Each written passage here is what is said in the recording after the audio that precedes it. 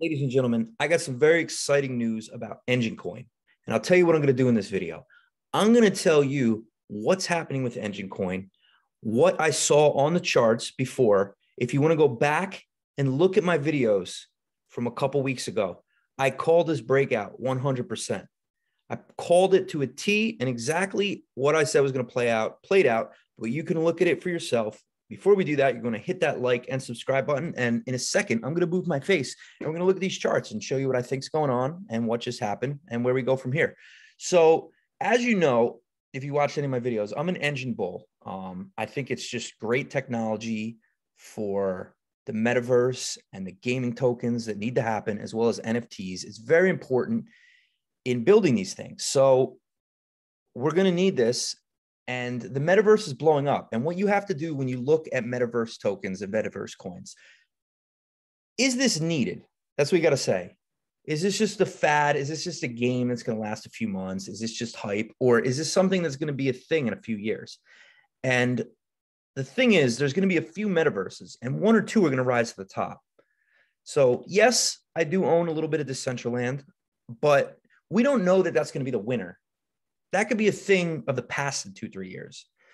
But Enjin Coin, I don't think is going anywhere. So I had a few breakouts.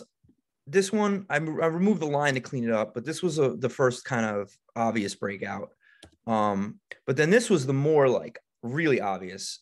It was real obvious to see what happened here, and then it just flew up. And this just kind of happened again. So, what I think is going to happen right here um, we can see that boom, blow off top one comes down. This is a little fake one. Then it created this bullish wedge pattern. And right when it was here, you knew.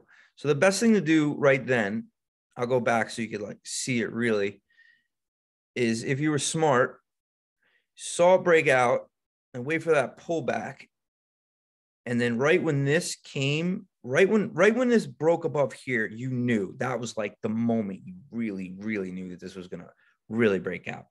So that's when I bought more right there. And then you should have been selling probably here.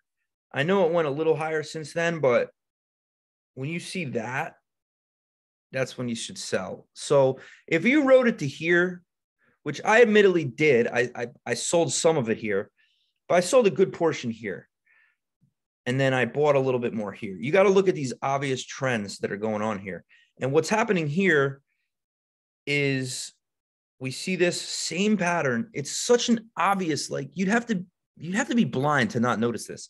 This happened here, then that happened. This happened here. Well, anyone with common sense knows. I think the next move is here. It might take a while. Like, is it going to happen in a month? Almost definitely not. But um, it could even take till the end of the year, probably.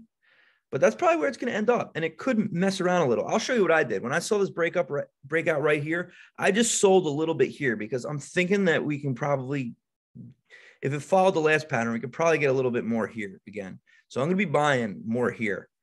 Um, you know, because the thing is, you want to const a good trader is going to get these 20% here and 20% there because you could have been you could have bought here, sold here, or you could have bought here, sold here, bought here, sold here, bought here, sold here.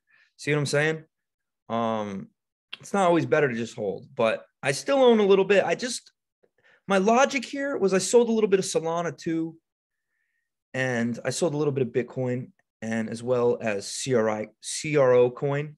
That's crypto.com because they blew up so much in a few days. I think there's just going to be a little bit of a pullback, and then I'm going to use that profit because I spent all my money here when everything was here. You know, maybe we can look at the Bitcoin chart. I was buying things here, and then when it broke out, it's like, okay, is it just going to shoot up? Probably not. It's probably going to come back a little because I want to have a little bit of money on the sidelines for when it comes back down to here. I don't want it to come back down to here and have no money because it's all invested, and I missed this 20% move. So you know, with Bitcoin, it's only 10%, but with the altcoins, that little move is worth 20% easily, 25% on things like CRO and Enjin, which is what we are just looking at.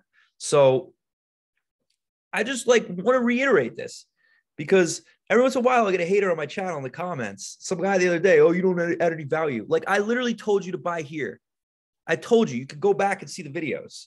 I've been right on Enjin Coin multiple times, and I'm pretty positive that as long as Bitcoin stays hot, this is going in this range.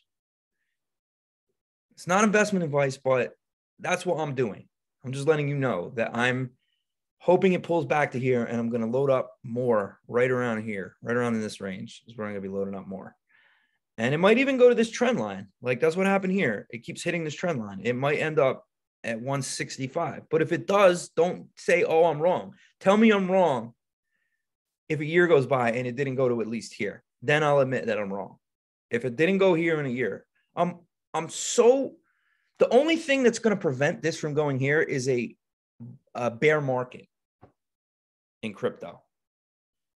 If a bear market happens, all bets are off. But if it stays bullish like it's going to, it's so obviously going here, it's not even funny. Will it go here again? That's a little bit maybe. I still think so.